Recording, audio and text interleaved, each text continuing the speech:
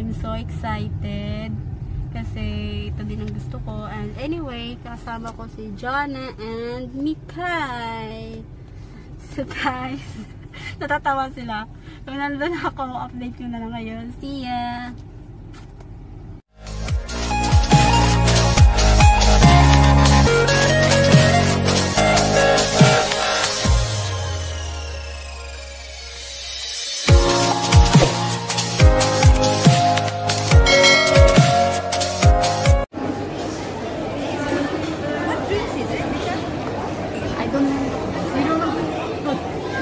The one who buy.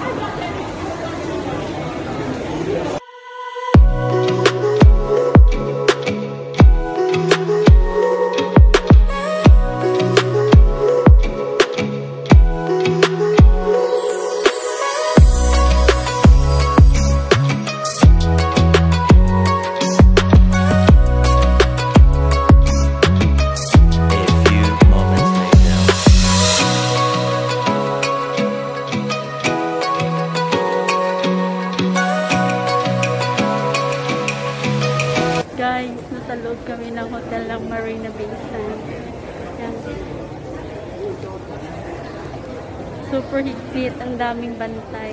Yan.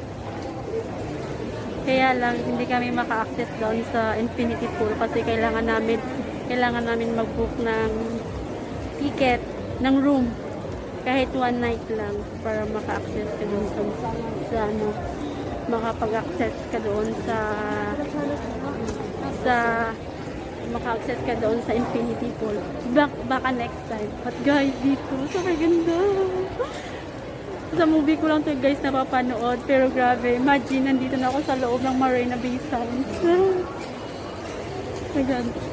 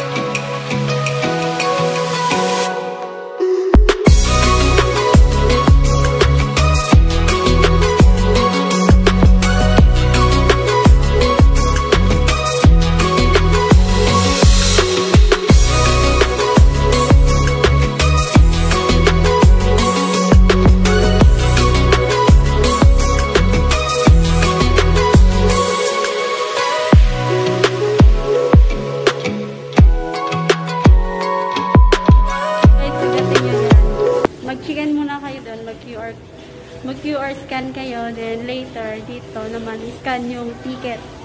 Dito na, papasok na kami din. Yan, may pictorial, remembrance. Bibigyan kanila ng picture for remembrance. I don't know kung may bayad.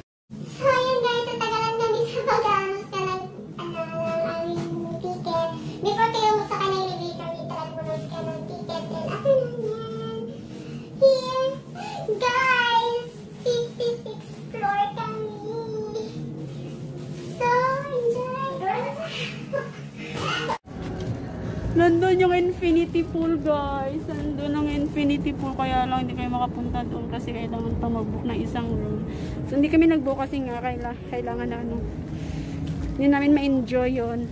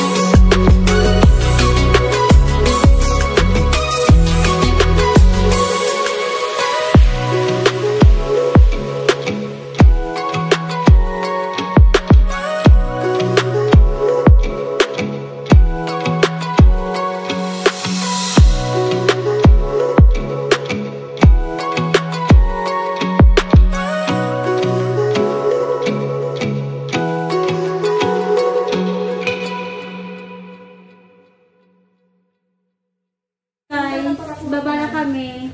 Yan, may nakuha silang souvenir na picture. Then, hindi siya free. Binayaran siya ng $40 for 3. Yan ka mga. Hi guys, so yun, after namin mag Marina Bay Sky Park, nandito naman kami sa Sampan Ride. Kasama po siya sa promo na pinok ng ticket online. It's only $25 together with Sampan Ride and Marina Bay Sky Park. So here, sakay na po kami. Jana! Mikay!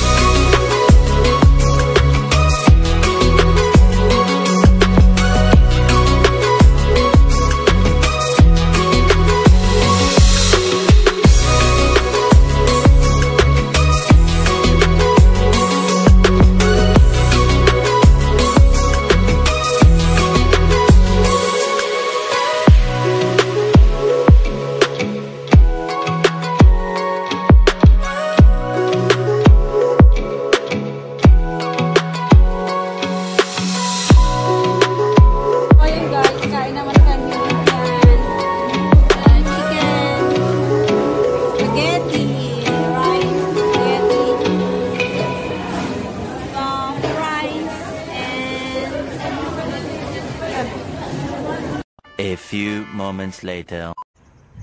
Hi guys! Ayun, naglalakad na ako pa uwi. So, thank you for watching my video. So anyway, kung bago po kayo sa channel ko, huwag niyo pong kalimutan mag-subscribe. At if nagustuhan niyo to ang video na to, like yun na din. thank you. And huwag kalimutan i-click yung bell icon para ma-notify po kayo sa aking next video. So, bye-bye. See you in my next vlog.